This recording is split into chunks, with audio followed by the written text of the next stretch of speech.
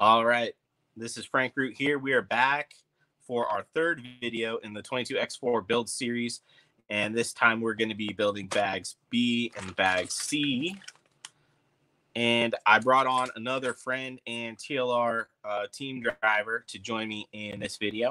We have uh, Ryan Harris. Hey Ryan, how are you today? Hey guys, how's it going? So we, I think it's uh Ryan Styles Harris. I don't want to, you know, play Styles too low key. So Ryan's one of our team drivers uh, pretty new to the team and out of the Florida area. And you guys probably know him already. He does lots of YouTube content for us and for the RC industry as a whole. But I'm going to give Ryan the floor for a minute here. He's going to introduce himself and kind of, for the people that don't know him, you know, what he does in RC and uh, uh, how he feels about his time with TLR so far and uh, how things are going. Right on. Well, I appreciate it, Frank. I'm really excited that uh, you guys are taking the time to go through this new kit and kind of show everyone the ins and outs and answer a lot of crucial questions along the way. I think it's really important in establishing that confidence that you get when you're building a new kit, and especially when it's a new platform.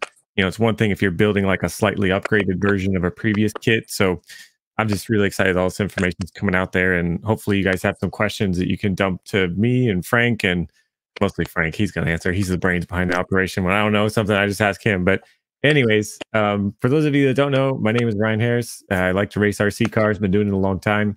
Uh, been in the scene kind of like my whole life ish, like since I was three, and uh, raced with my dad up until like the later teen years, and then had to take a little bit of a break. Got back in about three years ago now, and uh, been kind of trying a little bit of everything. And then this at the end of last year uh, Frank and all the TLR guys, it kind of made sense. They're like, hey, time to come on home, man. We know you raced Losi back in the day, so uh, let's get back to it. So it's been fun ever since, and it's been really fun uh, learning a lot along the way. Um, I think that it, it it's really helpful when you can kind of step outside your comfort zone for a second. You know what I had with the AE cars, but a lot of that information was just going off of what other people were telling me. So to be able to come out here and not have a dominant yet, yet keyword yet, not yet dominant uh, presence of TLR here in Florida. Um, it's been fun learning on my own, asking the team guys lots of questions. Uh, Aaron Kaufman, he's been really helpful. Tom Rinderneck's been really helpful. Frank has been tremendously helpful. So it's just been really good so far, and I'm, I'm having a lot of fun. So thank you, Frank.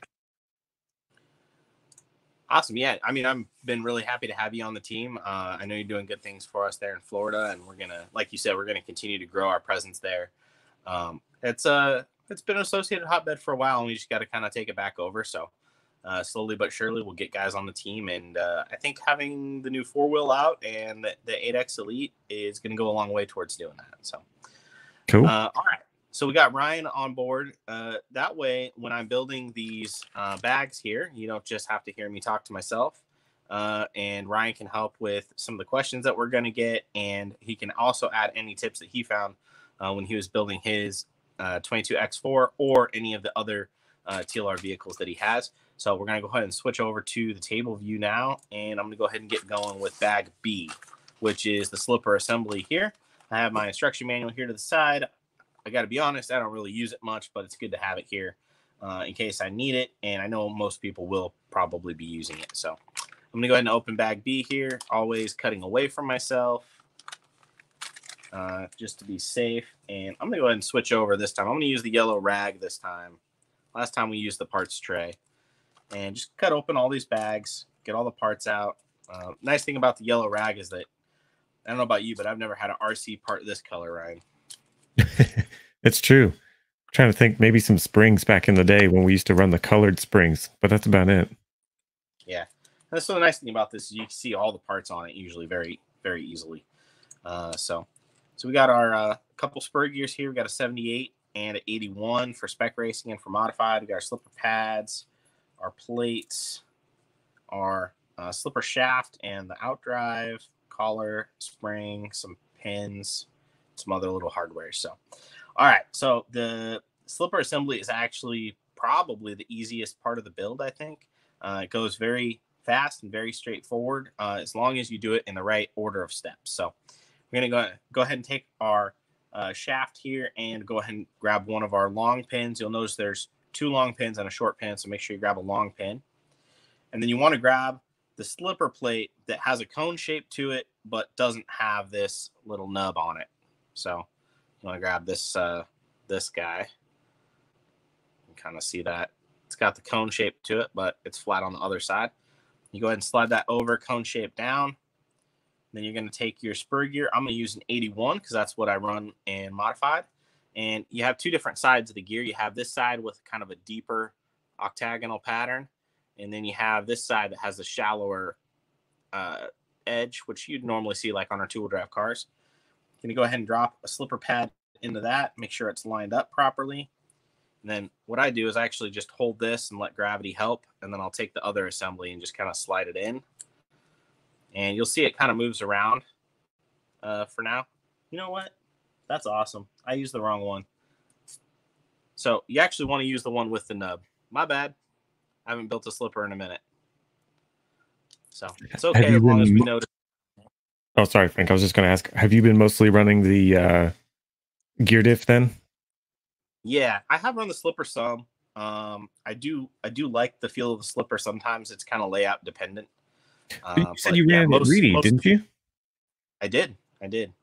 So, uh, yeah, at the Reedy race, there was a really tricky uh, jump section, right? It was uh, single, double, triple, turn, triple.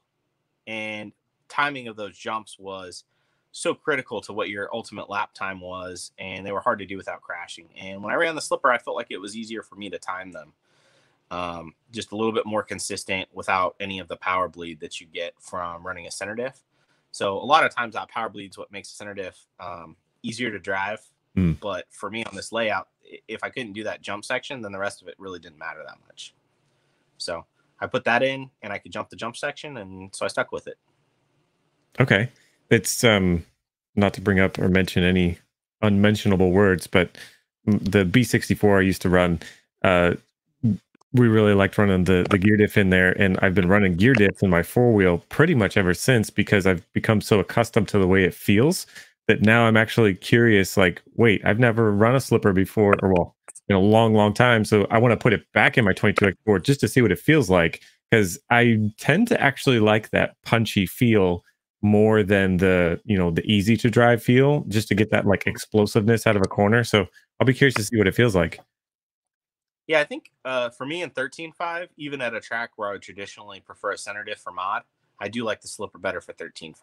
Mm. So if I'm a, and, and that's why the slipper is included in the kit because between everybody that's going to run a carpet is going to run a slipper. And then if you're running 13.5, I think you're probably more likely to run a slipper than to run a center diff.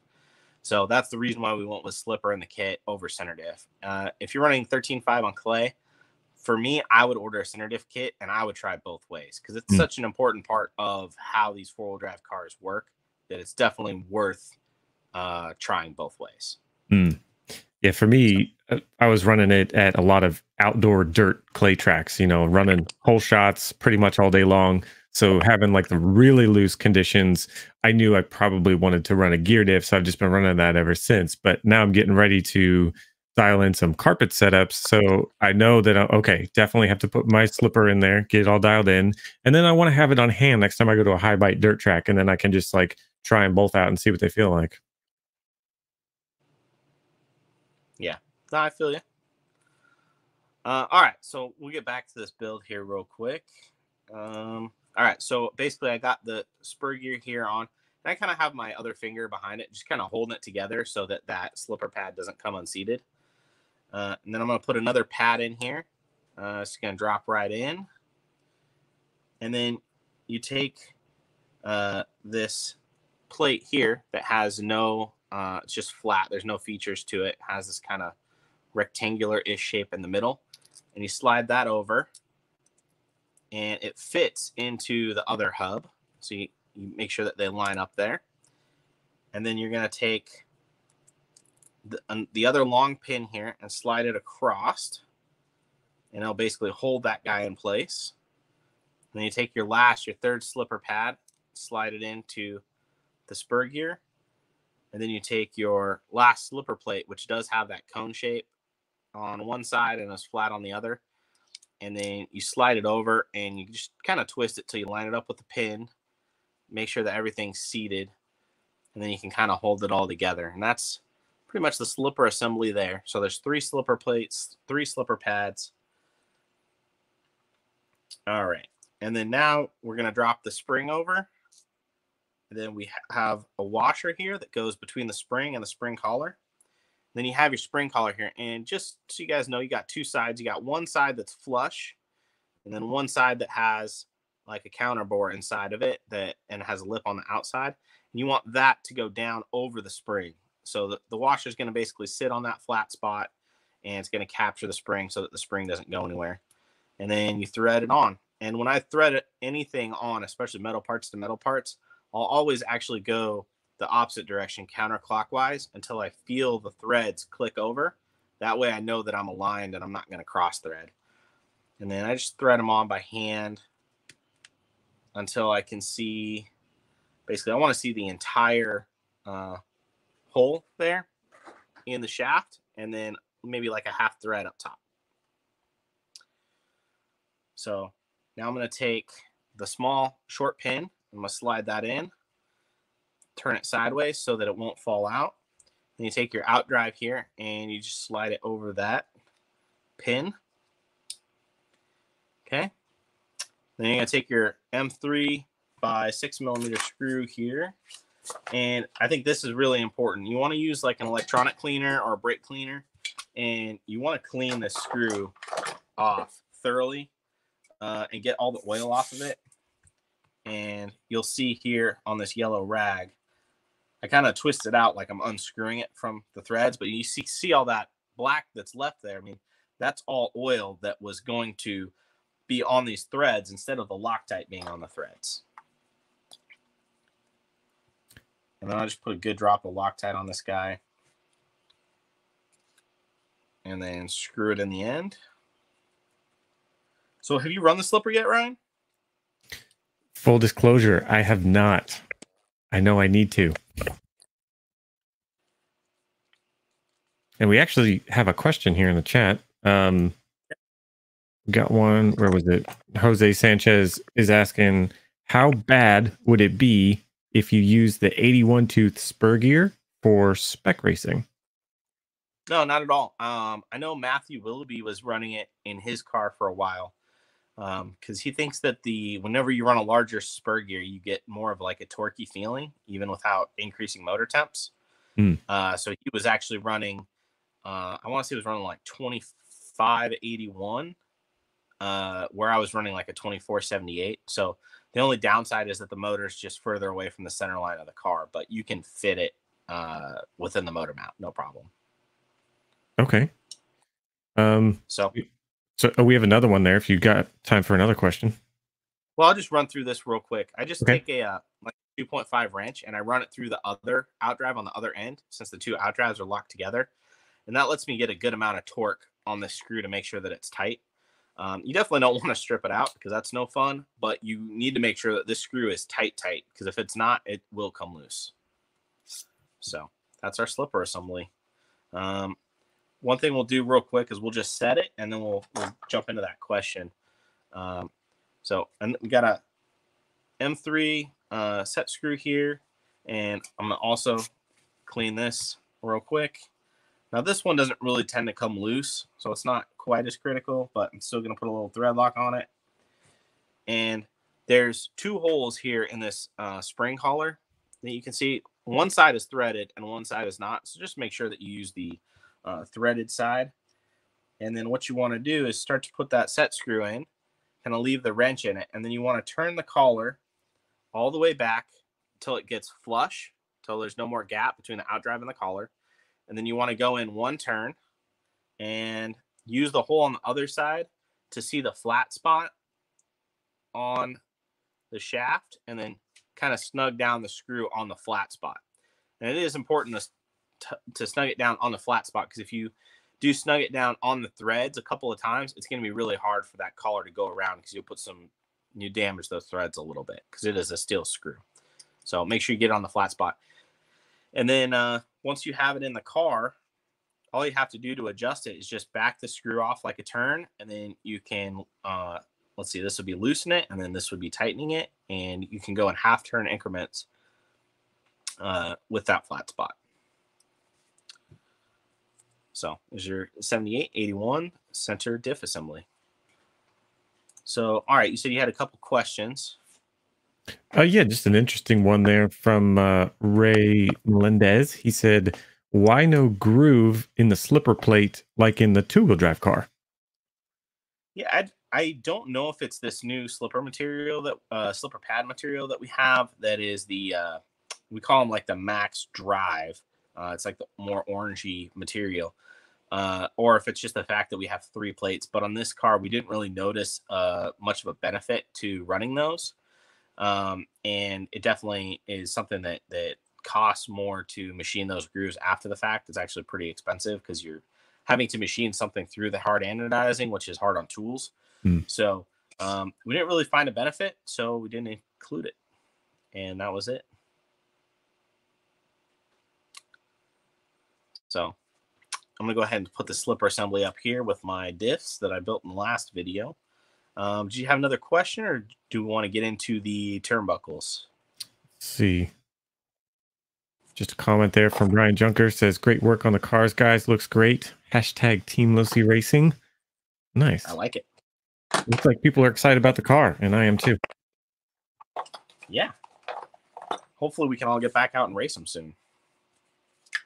Yes. That's the next step. So, all right, we're going to jump into the turnbuckles here. Um, I build my turnbuckles a certain way. Lots of people have different ways of building them. Uh, a lot of guys will use like a drill. Um, I, I, uh, or sometimes like chapstick. I use black grease and I use hand tools. Um, I don't want to say building turnbuckles is anybody's favorite part of the car, but I definitely don't mind it as much as most people do. I don't think. Um, I know my Ben, my friend Ben, and I. I used to build all the turnbuckles and he would build all the shocks. So we kind of trade off that way. He's not like building shocks, but um, here, what I always do with my turnbuckles before I assemble them on the car, and you, if you follow the instructions, you're obviously going to get them all correct. Uh, but I like to lay my turnbuckles out uh, the way that they would basically fit on the car, and that Mm. allows me to make sure that I have all the collars kind of facing the right way, and I have all the ball cups in the right location, and I have all the the right length turnbuckles in the right place. Uh, so we have 50 millimeter turnbuckles for the front camber links and the rear camber links, and then we have 45. So there's three shorter turnbuckles, and that's for the servo link and then the two steering tie rods. Uh, we use straight ball cups in all the camber links and on the steering link and on the inside uh, steering tie rods, and then the angled ball cups.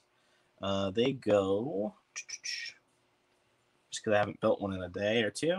They go like this, where the left actually goes on the right and the right actually goes on the left because they curve it in, where on the two wheel they curve around. So these ones curve in. So now I have my kind of layout there, and this is just makes me sure, keeps me straight, especially when you have like the angled turnbuckles or you have different length turnbuckles. It makes it easy so that you can have everything lined up and you don't accidentally put one on the wrong direction or put the curved one on a long turnbuckle when it needs to be on a short one, etc.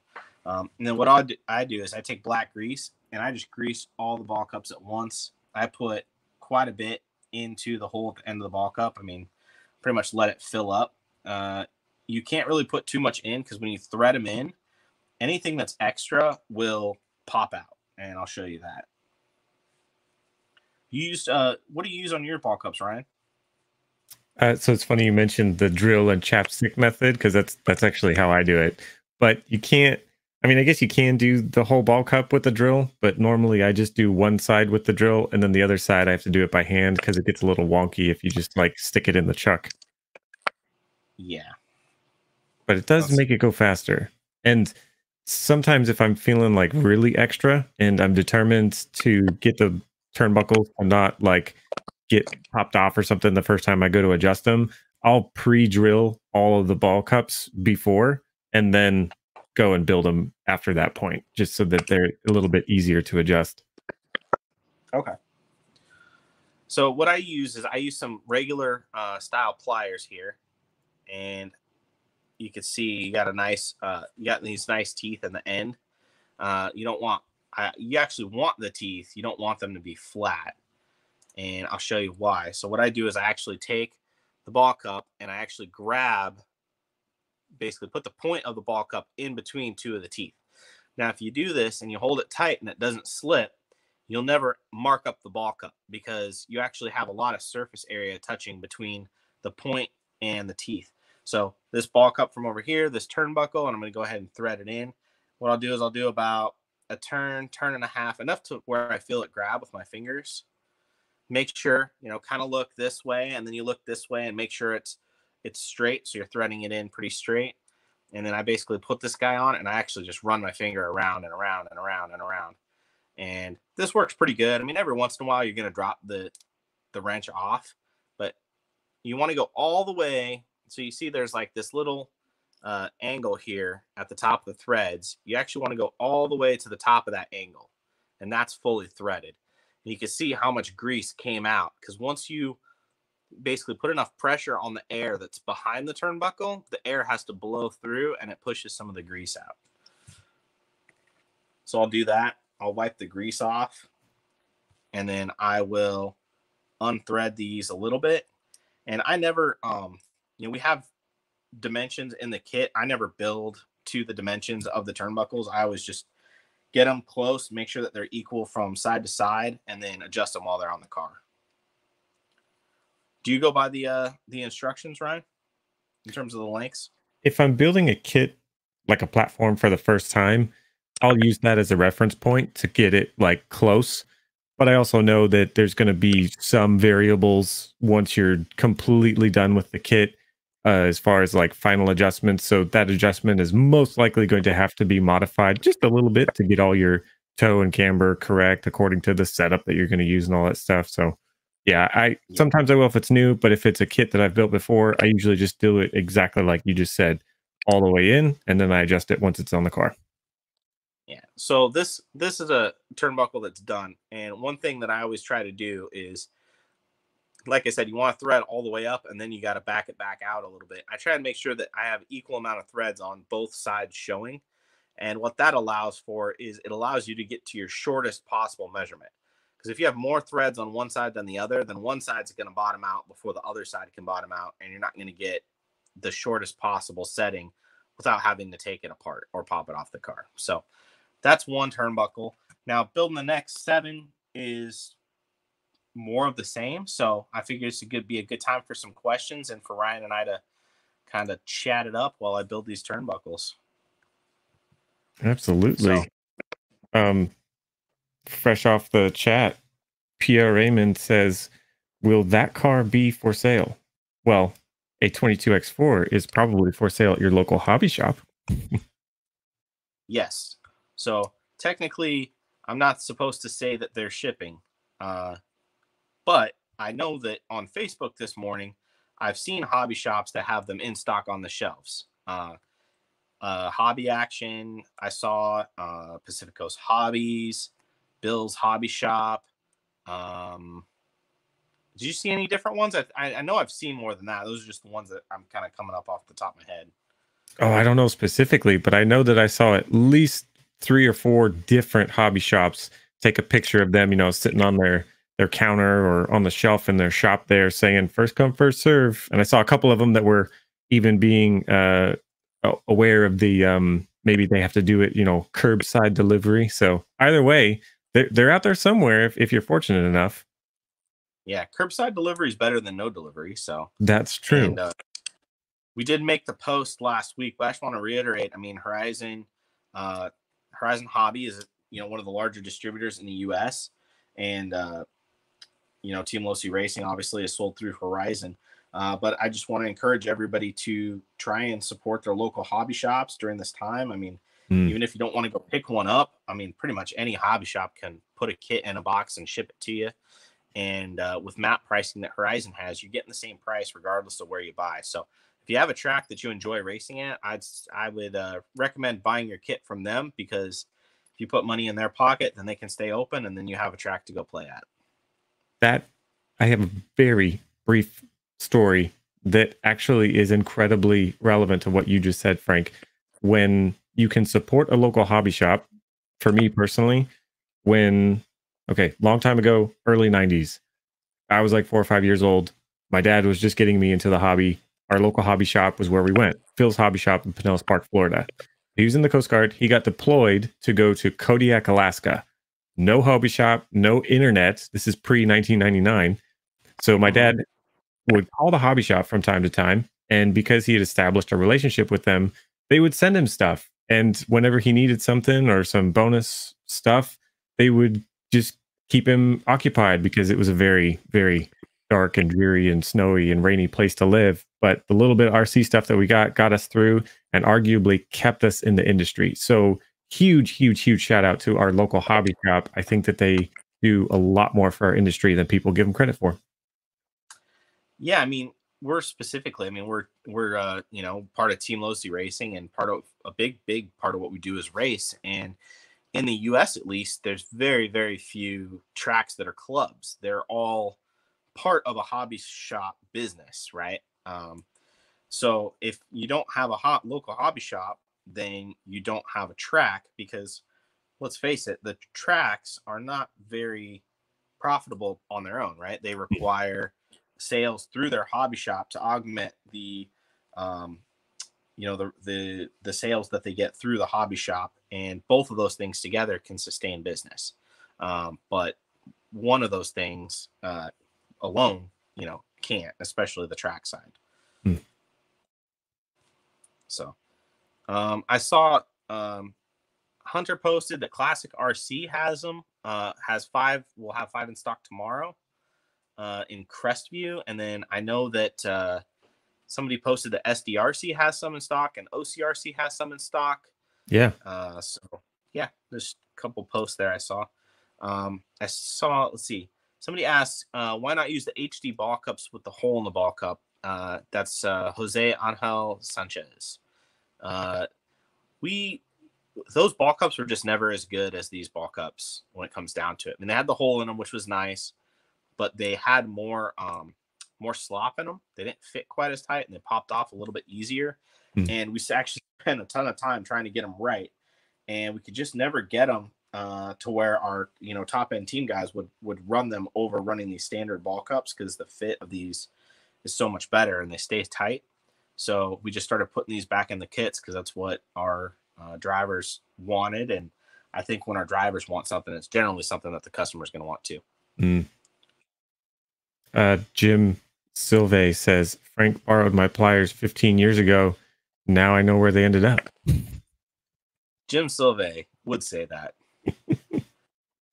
yeah, Jim. Uh, Jim's a good guy. He races uh, on TLR, but he lives in uh, Phoenix, Arizona, uh, or in that area. Races a Hobby Action. And when I first started my RC uh, venture career, whatever you want to call it, uh, I was actually racing uh, asphalt oval. And at the track that I raced at, Jim was like a god amongst men. I mean, like I could count probably on one hand the amount of club races he would lose in a year.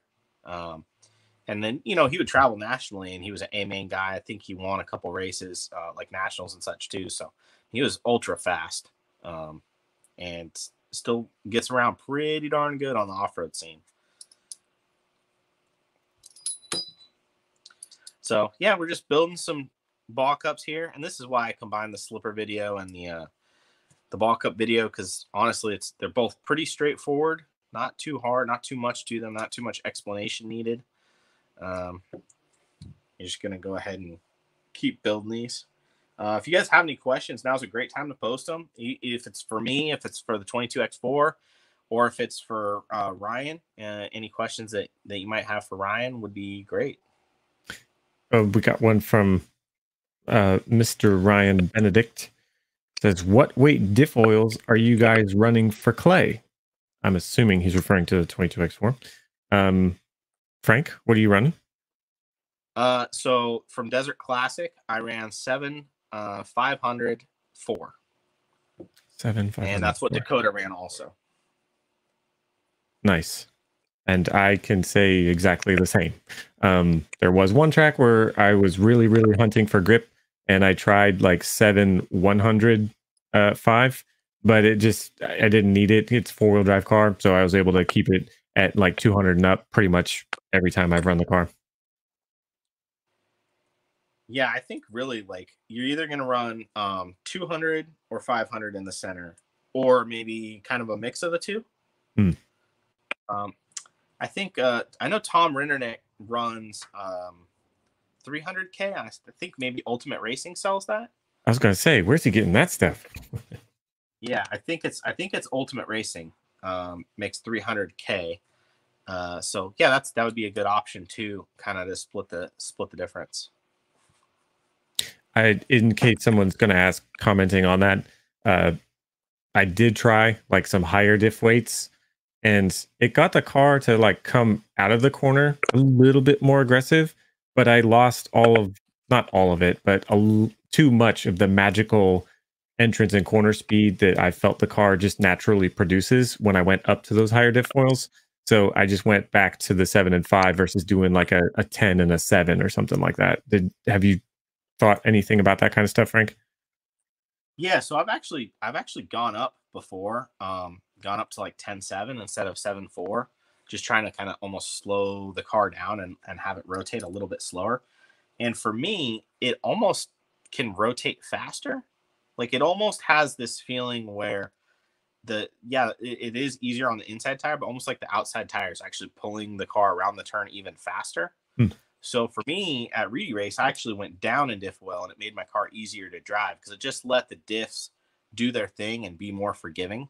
Hmm. Um, so yeah, I I think that you know we're still uh, it's obviously it's a different, much different type of car than we've run in the past. So I still think we have a little bit of learning uh, to do with that. But I mean, to be completely honest, the car's been so good with seven four or seven five that we've pretty much just been running that and not really messing with it a whole lot.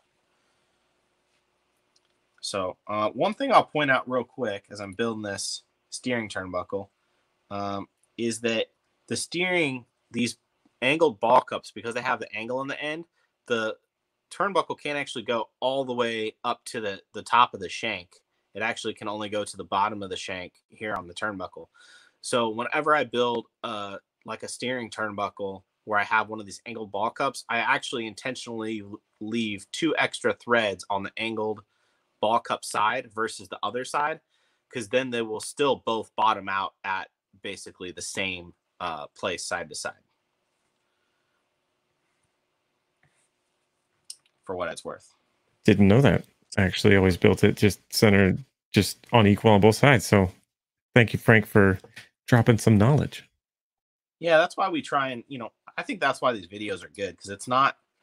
I mean, I think every most people can get a car together, but if it can be easier, uh, you know, then uh, it just makes things better. You know, I've always been willing uh, and open to sharing uh, setup tips, tricks, whatever, building tips. Like it, to me, it's um, most of what I learn or most of what I know, I've learned from somebody else. So why would I not take that and pass it back uh, as much as I can? Ooh, I actually have a question for you, Frank. Have you played Sure. around with the different, um, I believe we're calling them mud guards, as far as the soft versus the stiff as L? Yeah, a little bit. Um, we tried the stiff as on mud guards quite a while ago. I I think the soft ones are just better. Um, the the four wheel drive car, especially it when you run the softer um, softer mud guards and and I don't people probably notice we have a lot of pocketing in the chassis intentionally to give it give it extra flex. Hmm. Um, and when we run the car softer like that, it just allows the car to absorb so much more and to be so much more forgiving um, for me. And it, it actually gains consistency, it doesn't lose it. Uh, so that's kind of the key there for me is that it feels like we, you know, it's just easier to drive and it doesn't lose any speed. It gains a little bit of grip.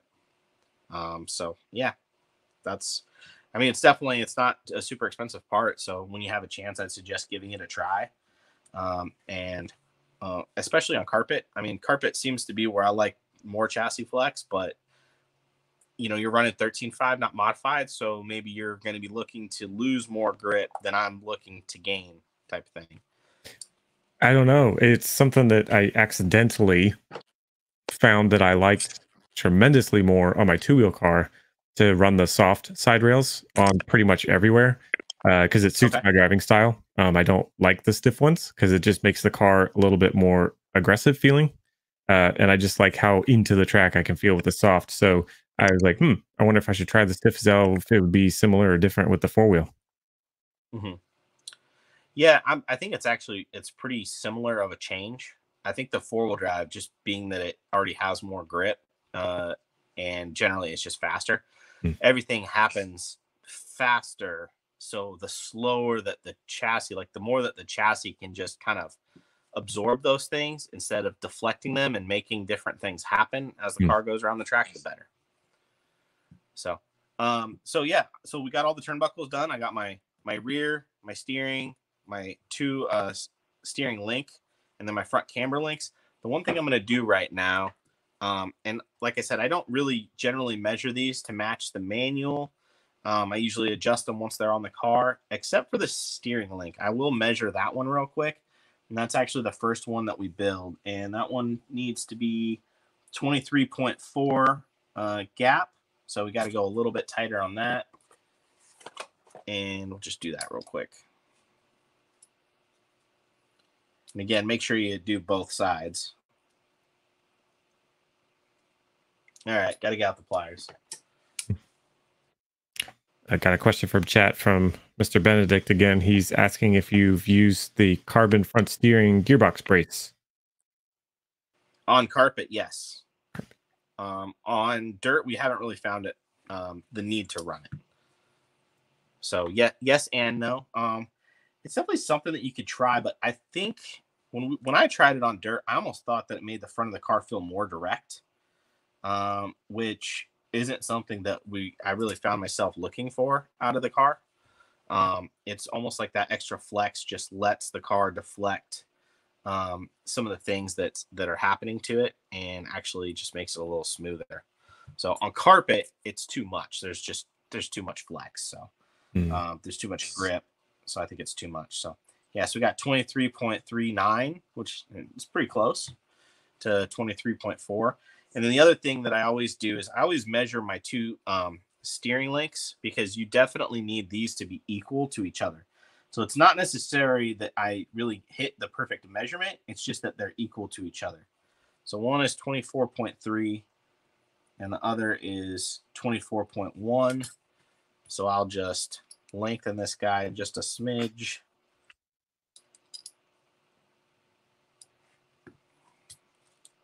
And the reason why it's important for your steering links to be the same length is that if this link, let's see, we'll move the rest of these out of the way. If this link is longer than this one and the wheels are straight on the car, then the steering assembly actually has to be crooked, right, to Hmm. get the wheels straight. And if the steering assembly is crooked, then as these points move forward and move backward, they change the angle of the steering links, and that controls your Ackerman. So if you don't have everything square on the inside and square on the outside to each other, side to side, then you end up with a different Ackerman left versus right. And nobody needs that. So that's why it's always important to measure those. Just make sure that they're equal. Then when you put them on the car, you adjust each side a quarter turn at a time, and then they always stay equal. You never have to measure them again. Super So, important right, stuff. yeah. Um, that so that's building the turnbuckles and the slipper assembly. You can kind of see I have uh, slipper, center diff, front and rear diff that we did on the previous video, and I got all my turnbuckles here. I have a couple extra 78 tooth gears here that I'm just gonna set off to the side. And uh, I really want to thank Ryan for coming on and uh, helping out, keeping keeping everybody from getting bored while I'm just building, you know, seven different turnbuckles. I appreciate it, Frank. It's been a lot of fun answering all these questions and just talking shop. Always a good time. Yeah. Do we did you see any more questions pop up? We can handle a couple more here before we jump off. Um, we had one from Hunter, and I was going to answer it, but I'm not sure. Uh, is the aluminum motor mounts already in the kit?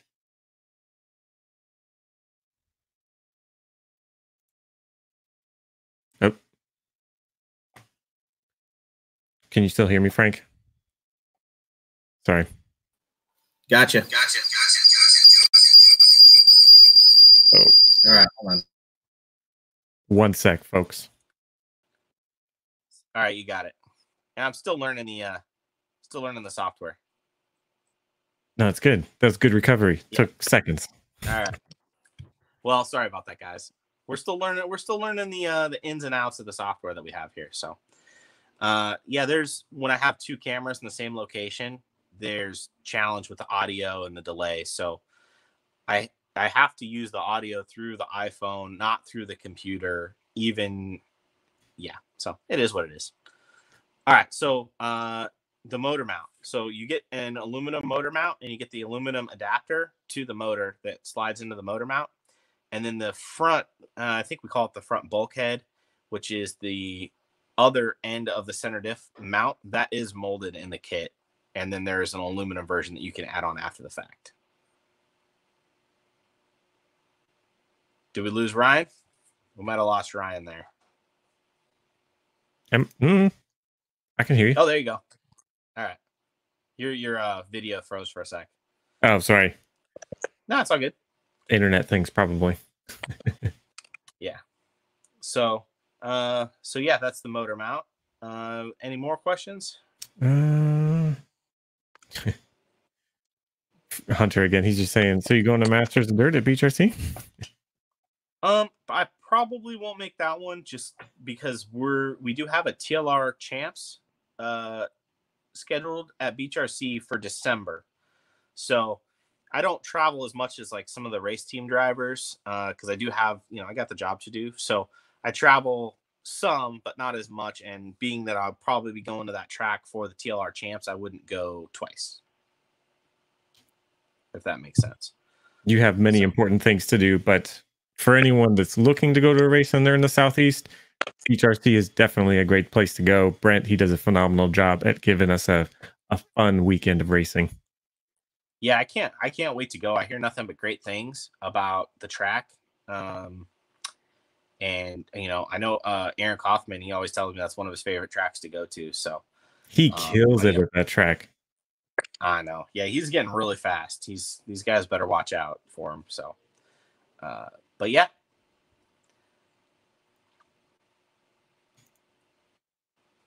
I don't see any more questions from the chat. Looks like we got all caught up to speed there.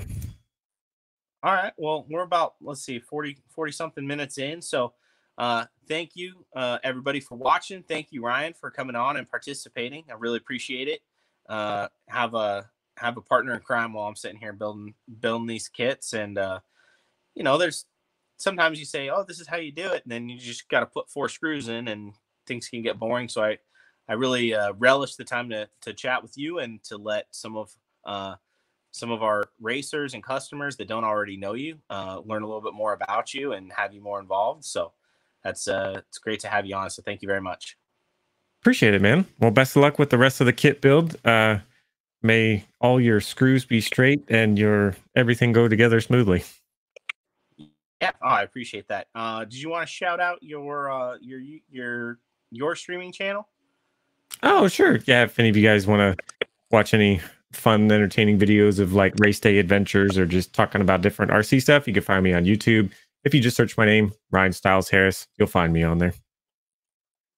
Okay, yeah, and Ryan did a great uh, review of his first couple of months with the 22X4. So if you want more of a uh, this is how it was on the track, that is these are the changes that I liked uh, type of review, which is definitely uh, I, I know I watched it and it was pretty awesome. So go ahead and check that out on Ryan's channel.